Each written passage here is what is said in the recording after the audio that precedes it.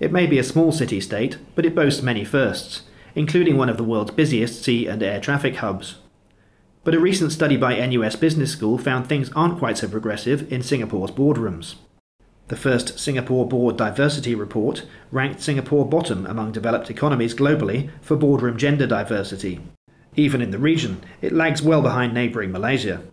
At the launch of the report, held at Swiss bank UBS, Singapore Minister of State Halimah Yacob was blunt in her assessment. This figure is dismal compared to the situation in other countries.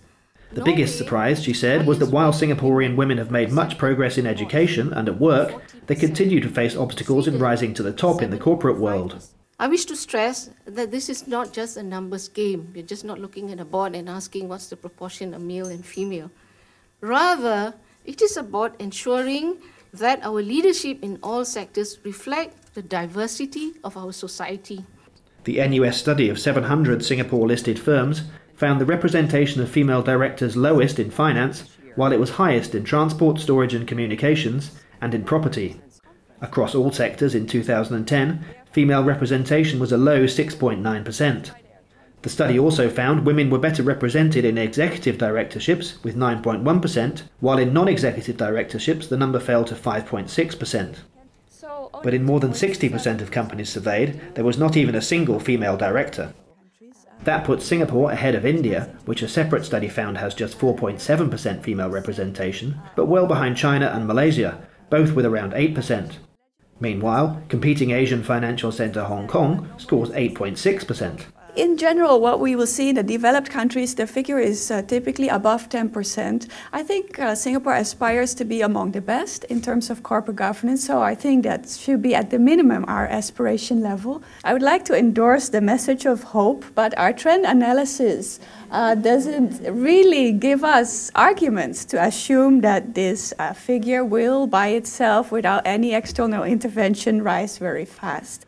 Participants at the launch agreed that boardroom diversity is essential for businesses to stay competitive and reflect the diversity of their customer base. But this sparked questions over appropriate levels of intervention and whether quotas or other systems put in place elsewhere might be a solution. In the recent UK report by Lord Mervyn Davies, he was looking at specifically the subject of women on board.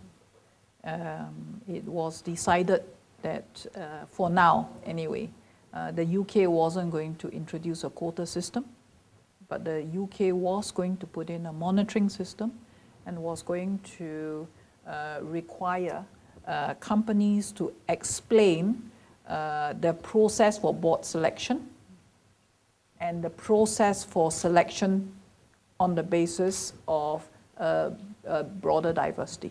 Another questioner suggested the Singaporean state should take the lead by encouraging more women onto the boards of government-linked companies. I agree with you entirely. Absolutely.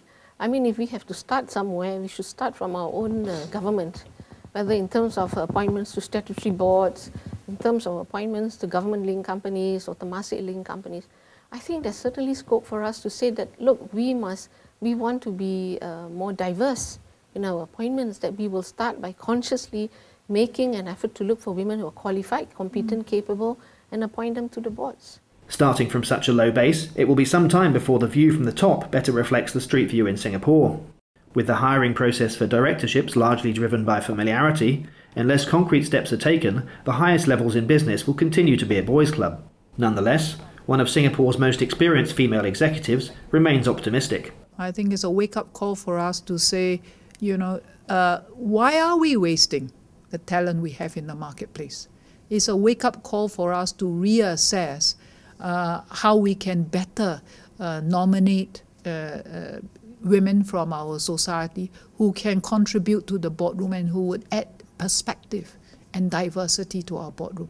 So I see it as a good thing. And uh, again, as I said, what gets measured, gets monitored, and gets acted upon. For NUS Business School, I'm Joe Haverley.